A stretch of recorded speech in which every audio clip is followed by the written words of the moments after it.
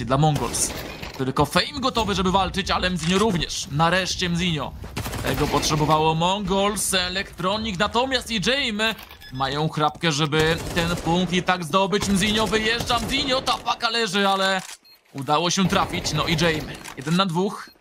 Ma oczywiście Palaka Jame, zafejkował tylko defowanie Mzinho, wie o tym Jame. Teraz już wszystko wie zawodnik Virtus Pro.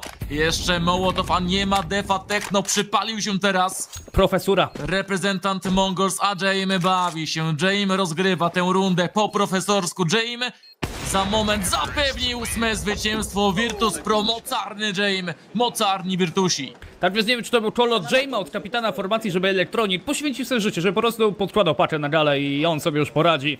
Ale jeśli tak, to ten gość zna się na CS-ie, absolutnie perfekcyjnie, prosty wygrany klacz e, przez Jame'a. 1 na 2 to jest ósmy punkt z rzędu, oczywiście VP, ale w końcu runda e, w której The Mongols postraszyło. To była przewaga utrzymywana przez graczy The Mongols, było 3 na 2.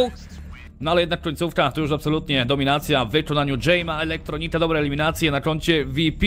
No i wciąż The Mongols bez wygranej rundy. Przypomnę tylko, że oni wygrali podczas e, tej BO trójki. Trzy pistoletówki. Na Ensign przegrali 10-13, a tutaj na Daście 2 po prowadzeniu 2-0 przegrywają 2-8.